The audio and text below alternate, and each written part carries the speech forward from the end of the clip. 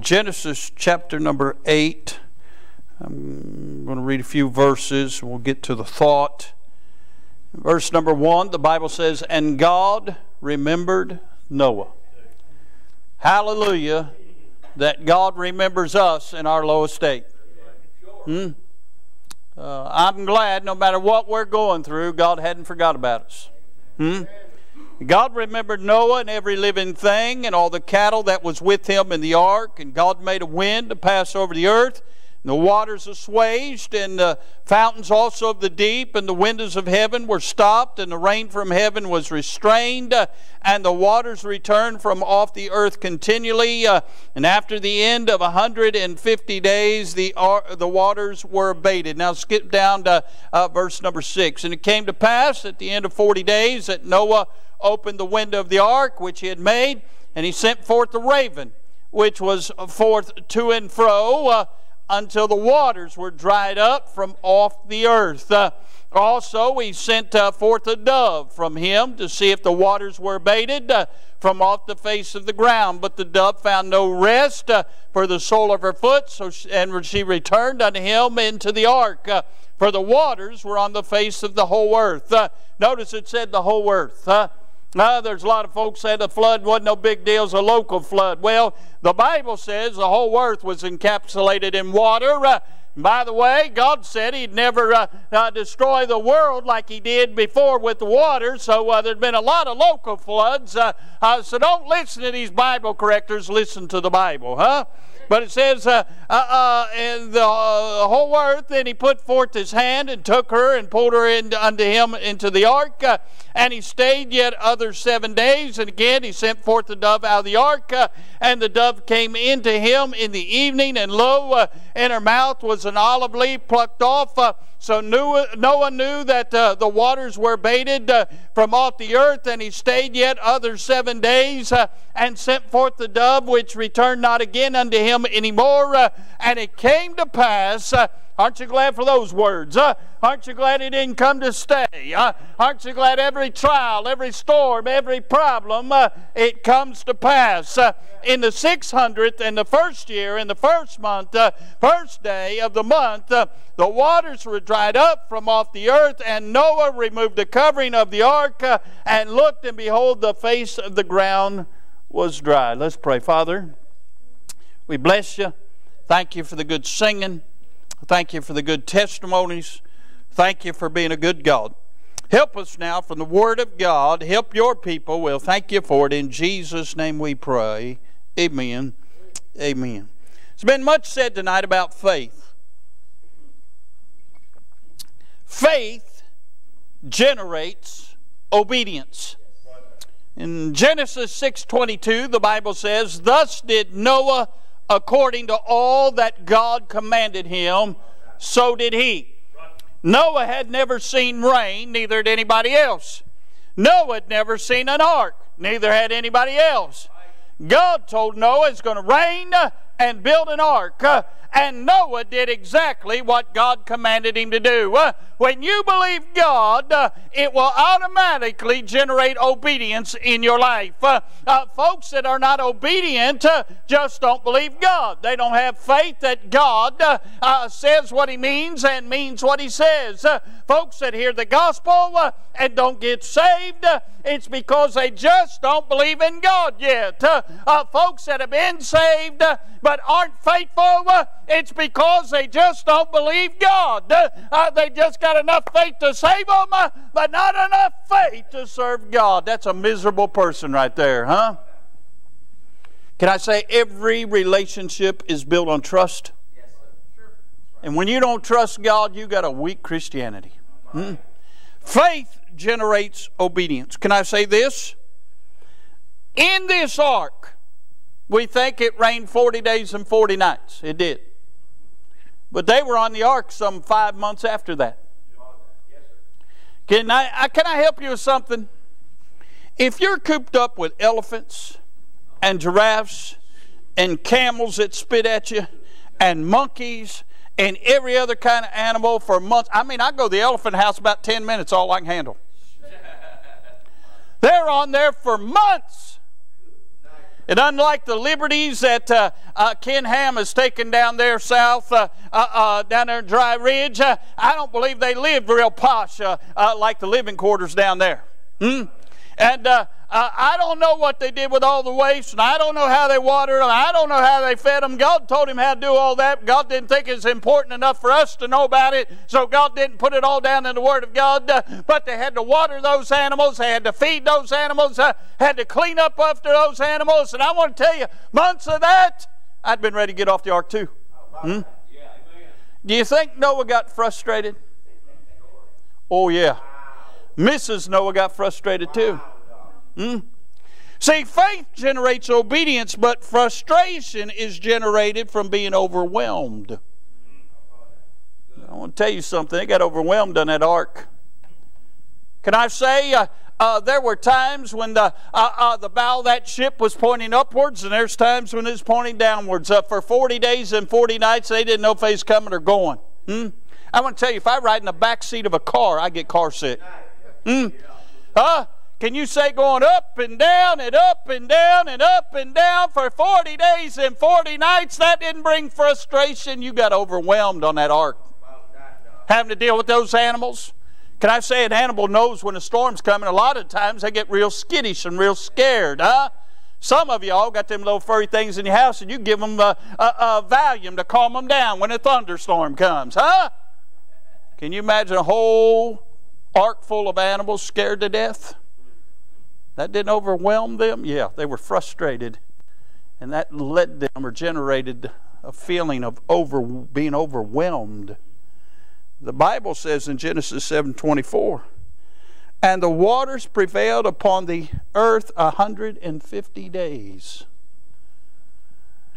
And 150 days of not so smooth sailing, there was some frustration and some sense of overwhelming. You know what? I'm sure there were times the thought crossed their minds would to God we never got on this thing. Not realizing that those that didn't get on perished. But how many times in your Christian faith, how many times in the heat of facing trials you thought, boy, I had a lot better before I got saved? Hmm? Boy, things were a lot better when the devil didn't camp on my doorstep. Hmm? Oh, you're being super spiritual tonight, but some of you had that feeling. Hmm? Boy, things were going just fine until I met Jesus, and now my whole world's crumbling. Hmm? Frustration is generated from being overwhelmed. Yeah, faith generates obedience, but then frustration can set in. But then, uh, now let me say this the finality of the storm generates obeisance. Look at verse 20 of chapter 8. What happened when they got off the boat? And Noah builded an altar unto the Lord, and took of every clean beast and every clean fowl, and offered burnt offerings on the altar. What did Noah do when he got off the ark? Cuss God? No, he worshiped God. When you come through a storm and God has brought you through it, is a natural response of a believer to worship God. Hmm? My worry is folks that never worship. Uh, I know they're facing something. Job says man's days are few and full of trouble. So they must not see the hand of God in it, or they don't know the hand of God at all. Hmm? I'm interested in verse number 8 says, And he sent forth a dove. He first sent a raven. Can I say something about ravens? They're an ungodly bird. But a dove is always associated with the things of God. Many churches has a, have a dove as the symbol of their church. A dove always represents the presence of God or the peace of God. And in several verses here, we see Noah sent forth the dove, the dove came back. Hmm? And can I say, he sent him forth again, he comes back with an olive tree. Sends forth again, he doesn't come back because Noah then knows he found a resting place. Huh? But we find the dove. We find the dove representing the peace of God and the presence of God. Can you imagine how elated they were when they knew they was getting off the boat? Can you imagine when they saying, Hallelujah, the elephants can take care of themselves? Huh? Can you imagine how excited? Uh, can you imagine uh, uh, uh all the wealth of emotions, uh, knowing that God had remembered them, knowing that God had done what He promised, that God had brought them through the ark of safety? Uh, hey, you know, no, when he got on the boat, he was considered the biggest fool in the world. hey, he'd preached for 120 years, and they mocked him and they scoffed at him. they laughed him to scorn. I imagine they had parties around his building and said, Look at that crazy fool. Uh, uh, what in the world is rain? Uh, hey, but when they got on the boat uh, and God shut the door uh, and it began to rain, uh, hey, those crowd that was a mocking, they, their whole attitude changed. He got on the ark of fool, uh, but when he got off, he owned the whole world. Uh, hey, friend, when you got on the ark, uh, the ark of the Lord Jesus, your friends and families thought you lost your mind. friend, when this ark sets sail and lands in harbor, we get off the boat, we're going to own it all. Hallelujah. Can you imagine the elation when they knew? This was coming to an end. Oh, when they're getting off the boat and they can rebuild their lives. I want to preach on this thought for a minute tonight. I want to preach on after the dove comes the devil. Oh, they'd been through a trial. Then they had that dove, that peace, that presence of God that hope, that elation. But it didn't last long. After the dove comes the devil. Hmm, can I say, first of all, that the devil will show up to hinder after you've had a good experience with the presence and peace of God? Can I say, first of all, he'll show up to hinder your family? Look in chapter number 9 chapter number 9. Look with me in verse number 20.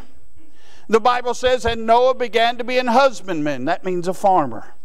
He's planting crops. He's growing vegetables. He's uh, uh, starting to turn his life around. Uh, uh, he began to be an husbandman, and he planted a vineyard, and he drank of the wine, and was drunken, uh, and he was uncovered within his tent. Uh, and Ham, the father of Canaan, saw the nakedness of his father, and told his two brethren without.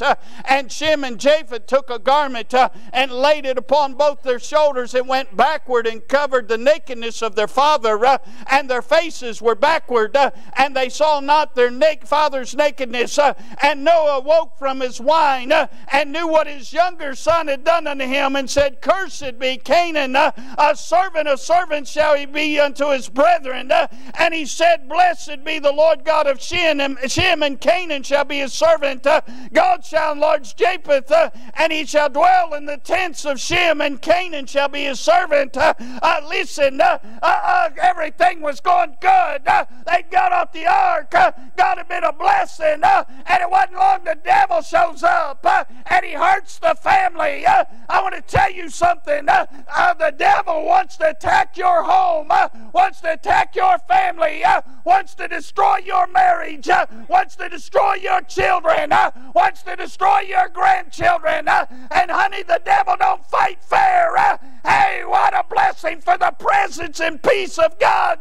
but friend, take note, be on guard. Uh, we're not ignorant of the devil's devices. Uh, hey, be sober, be vigilant. Uh, your adversary has a roaring lion seeketh about whom he may devour, and he's after your family.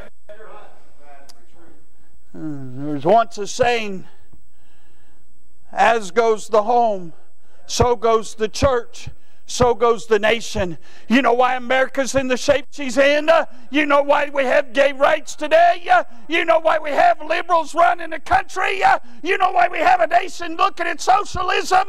You know why sodomites are running the streets? I'll tell you why. Because we've allowed the family to be attacked by the devil and haven't recouped. You know why there are empty pews in the churches? Because the home isn't right.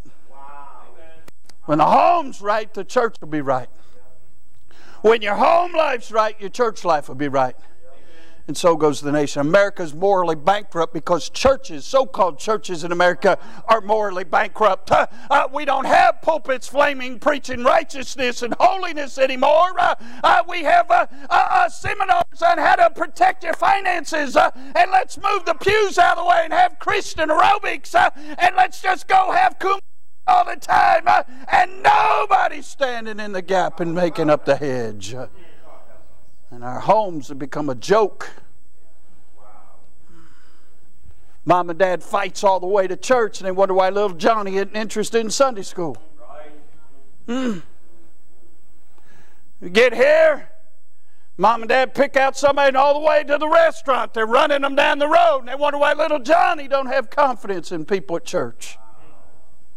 Little Johnny gets about 16, they wonder why little Johnny never comes to church anymore because you haven't taught him to respect God respect the Word of God, respect the man of God, respect the people of God, and truly, He doesn't respect you either. Can I say ch- children can pick out a hypocrite far, far quicker than adults? Hmm? I'm telling you, after the dove comes the devil, and he seeks to hinder your family. Hmm? How's your family doing tonight? Hmm? How many of God's people have allowed things to hinder their family from serving God. Let me ask you a question right now. Right now, I'm just I'm not being ugly, I'm just being honest. 150 years from now, what do you got going on in your family that's hindering them from God? Is it going to be worth it? Wow. Hmm? Is it going to be worth it? Hmm? You better learn yourself to seek God first and teach your children to put God first. Or then, my dear friend, the devil's going to take up shop in your house. He shows up to hinder your family. Can I say, after the dove comes the devil and he shows up to hinder your fire. Remember when you was on fire for God? How come you're not tonight?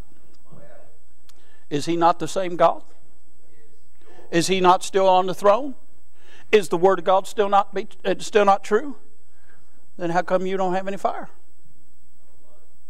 Because hmm? after the dove, the devil shows up. You know 1 Kings 18, Elijah prayed down fire. You know, the people who were halt between two opinions start crying, The Lord, He is God. The Lord, He is God. You know, that day they slew 150 prophets of Baal, or 400 prophets of Baal, and 450 prophets of the grove. 850, sorry, no good false prophets were slow, slew that day. That's chapter 18 of 1 Kings. Chapter 19. Verse number 1. And Ahab told Jezebel all that Elijah had done and withal how he had slain all the prophets with the sword. Then Jezebel sent a messenger unto Elijah, saying, So let the gods do to me, and more also, if I make not thy life as the life of one of them by tomorrow about this time. Elijah leaves town, heads for a juniper tree.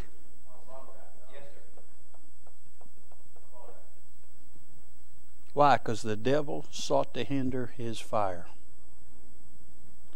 Do you know why about three days after revival meeting you lose your fire? Because the devil will do everything in his power to keep you from throwing another log on the flames. It's amazing how shallow we are. We can be in church three or four days, be excited about God, and then all it takes is one sorry, wicked coworker to steal your fire. Hmm? Boy, for revival, we get to praying, get to seeking God's face. During revival, we try to be obedient to God and everything, but as soon as the preacher leaves town, we quit praying, we quit reading our Bible, and all of a sudden, the devil throws something in front of us, and there goes our fire. It's gone. Hmm. After the dove comes the devil. He'll not only hinder your family and your fire, he'll hinder your fasting. Now, I know that's a cuss word in most Baptist churches. It's still Bible doctrine that we're to be given to prayer and fasting. But unfortunately, our prayer lives have turned into nothing more than us asking God for a big shopping list to make our life more, more pleasurable and easier. Our prayer life isn't seeking God and His power and His presence. Because if you seek His power and His presence, you'd realize you have to do a little fasting too. Hmm? There's been times I've called for you to fast from your social media, and God's blessed our services. How's that working out for you now? When was the last time you fasted from that stuff? Hmm? Say, preacher, you're meddling. I think I'm still preaching. Huh? In Matthew chapter 3, verse 16, the Lord Jesus has come to John the Baptist at the river Jordan. Asked John to baptize him. John said, No, I need to be baptized you. And Jesus had permitted to be so. Why did Jesus have to be baptized? He wasn't a sinner.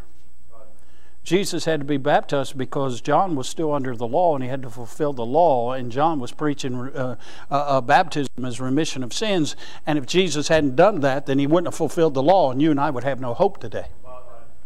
Jesus didn't get baptized because he was a sinner. He was baptized into his humanity. You're welcome. Didn't cost you anything. Just trying to help you.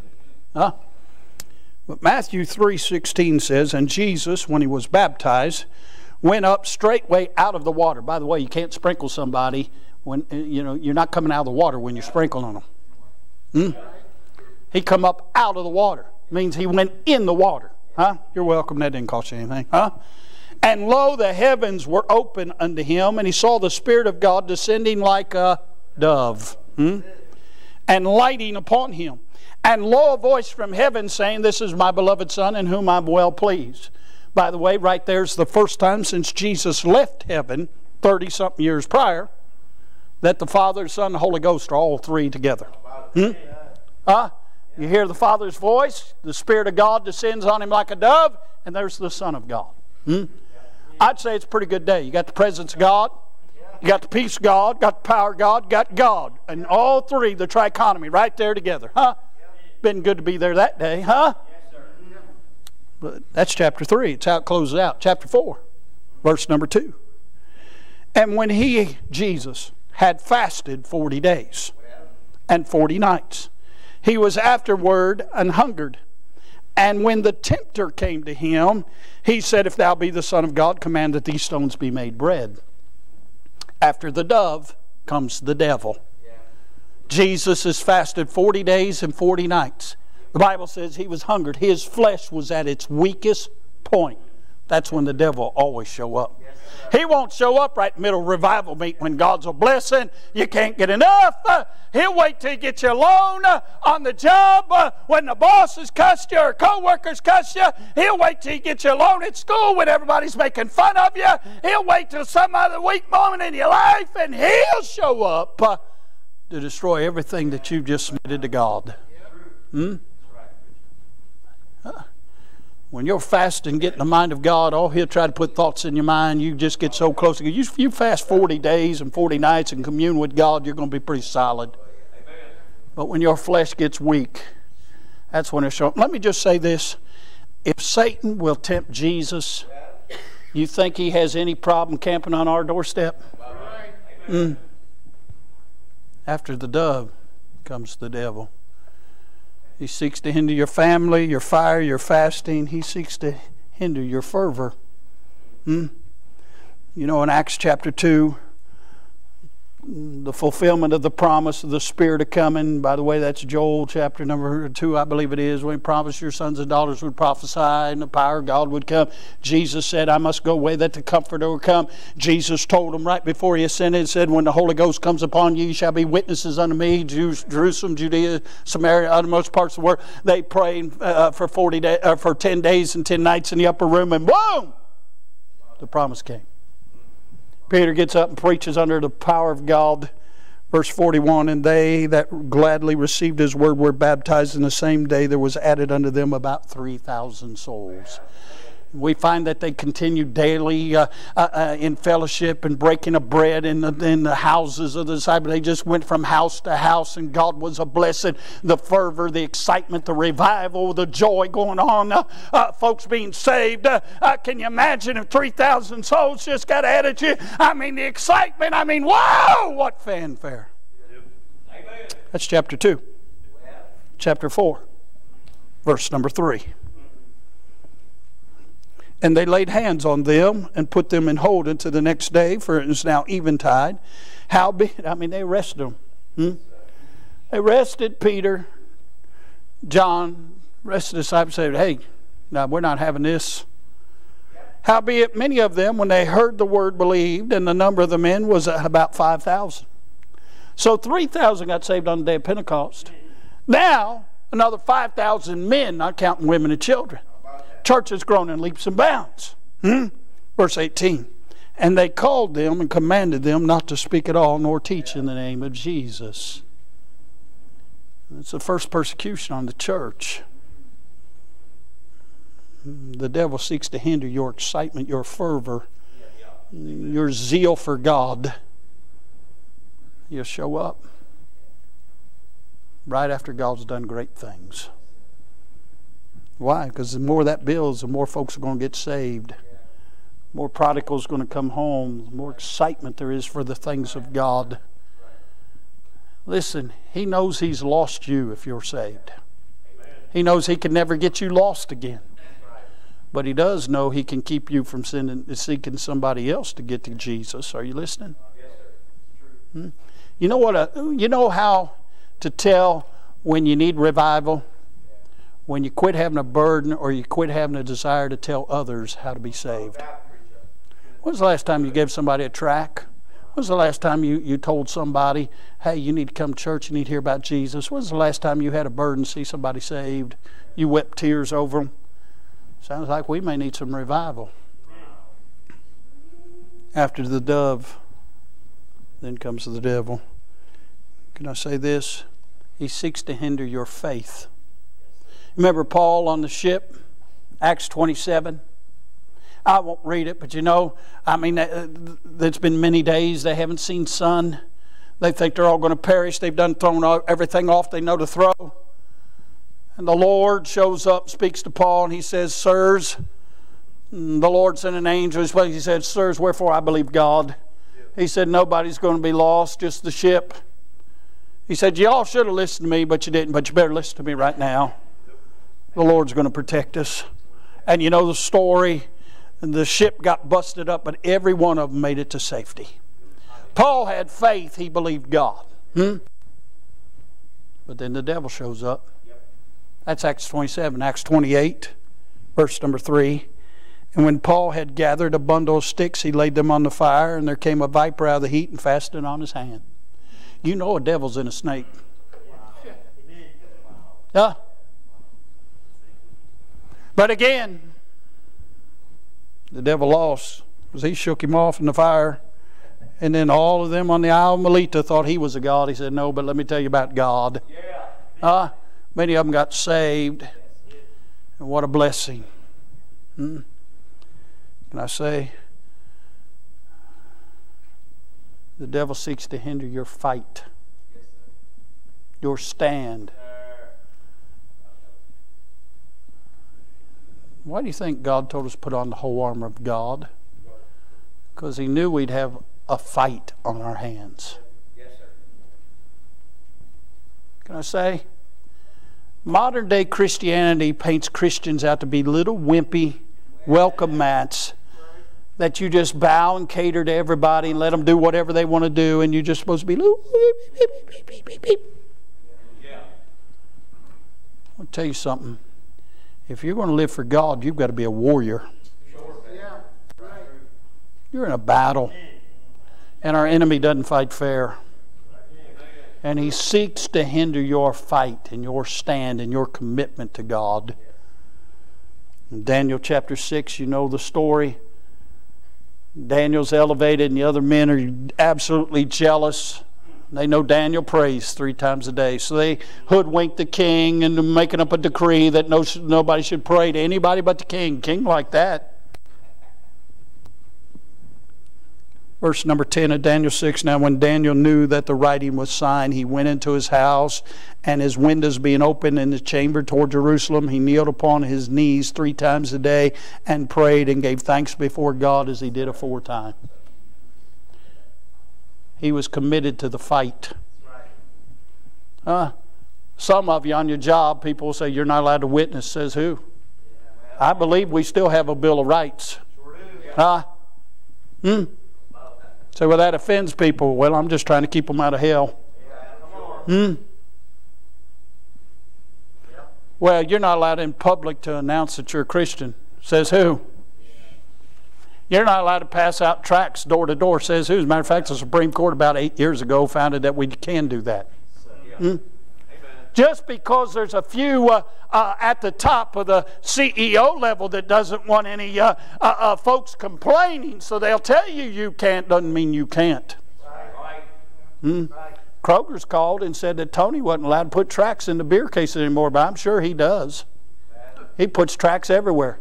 I went to see Sam in the hospital, went in to wash my hands in the men's room. There's our tracts all over the men's room up there at the Children's Hospital. Huh? Just because they say you can't, don't mean that you've got to quit fighting. They told Daniel, You're going to go to the lion's den. He said, Oh, well. He opened up the windows like he always did. He prayed toward Jerusalem. Hmm? So what happened? Verse 16. Then the king commanded, and they brought Daniel and cast him into the den of lions. Hmm? The devil tried to hinder your fight. The devil said, Okay, I got him now. What the devil doesn't realize is the one who made the lions. Huh? Daniel said, O king, live forever. My God has sent an angel, shut the lions' mouths. He said, I was supposed to be dinner. I just used him as a big pillow. I had a good night's sleep. Listen to that lion snore all night. Huh?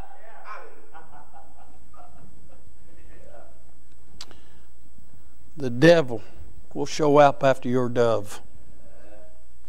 Wants to hinder your family your fire, your fervor, your faith, your fight. But can I say this? Never lose sight of the fact we have a friend. Proverbs 18:24 A man that hath friends must show himself friendly, and there is a friend that sticketh closer than a brother. Huh? Romans 8:31 What shall we then say to those things if God be for us who can be against us? Huh? Well, hey, uh, 1 John 4 4, ye are of God, little children, and have overcome them, because greater is he that is in you than he that is in the world. See, once you have a dove, the devil's no match for you. When you learn that you got a friend and you just lean on the friend. You do know the devil mess with you till he sees your friend. Huh? When your friend is on the scene, the devil flees. Resist the devil, he'll flee from you. Draw nigh to God, and he'll draw nigh to you. Hey, the next time the devil tries to hinder just run to Jesus. Uh, every step you take towards Him, He takes a step towards you. Uh, won't be long, the devil lose all sight of you, uh, for you'll see Jesus. Uh, and friend, you'll find the dove just as sweet as He's always been. Yes, sir. We face a real enemy, but we serve a real Savior.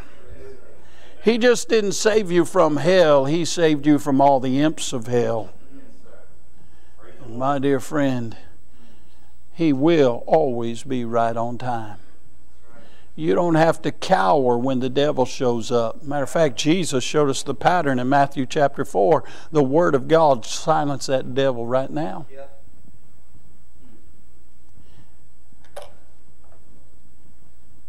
The devil only messes with those he fears. When you have the presence and peace of God in your life, he fears you. Because you have something that he has tried to manufacture and can't. and something that he has tried to imitate and he can't, and something that he knows that everybody in the world truly is seeking, and he tries to quench it at every turn.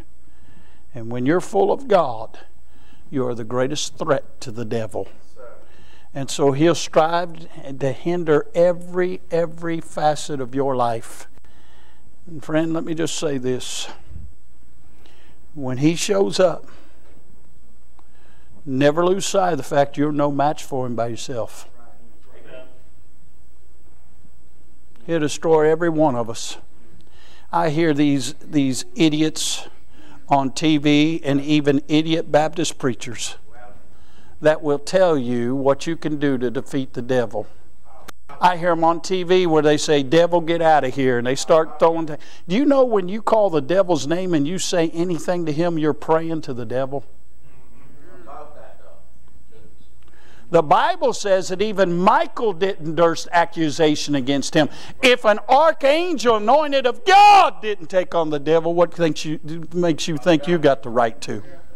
Hmm? We were created lower than the angels. You're no match for the devil. I've always found when the devil shows up, best thing I can do is find Jesus. Hmm? Best one I can talk to is Jesus. Best one I can get after is Jesus. Huh? I know I'm no match for the devil. Huh? I, am no match for my own flesh. Hmm. But I found that the things of God and the Spirit of God can overcome anything. So I'll just go hang out there. Yeah, the devil may show up to hinder. But can I say? Again, greater is he that is in you than he that's in the world. Don't give place to the devil. We're not ignorant of his devices my dear friends, just, just bathe yourself in the things of God, put on the whole armor of God, and do what God would have you to do, which is always trust in God. And friend, the devil, he'll go on down the road. Yes, sir. Hmm? You resist him, he flees. Oh, he'll throw some things at you. Hmm, but hey, just recognize who it is. It's the devil. I'll just stick with Jesus, huh? And if you don't know what to do, just get on your knees and start calling on Jesus. Mm, the devil hates that because he knows the, the farthest thing he can drive you to is to your knees. And once you get on your knees, all of heaven is paying attention to you, and God dispatches exactly what you need to overcome the devil. Oh, thank God for those dove experiences. But don't get caught up thinking because the dove shows up, everything's going to be wonderful. Won't be long, the devil's going to come up. But hey, you can still have dove experiences. The three Hebrews did in the fire, Daniel did in the lion's den, Paul did on the ship. I'm telling you, everywhere you find folks in, in problems, the Lord shows up. So if he's no respecter of persons and he showed up for them, won't he show up for you? Just keep looking for him. Keep trusting and obeying, and He'll show up. Let's all stand tonight. Brother Clint, come get a song of invitation. Maybe some of you have been hindered by the devil. Might be a good night to come and ask for some help. Maybe God's giving you some help and some relief. It'd be a good time to come and thank Him. Maybe God spoke to you about something totally different. Now it'd be a good time to do business with God. Maybe you're here tonight and you're not saved. Well, why in the world would you want to spend eternity with the devil?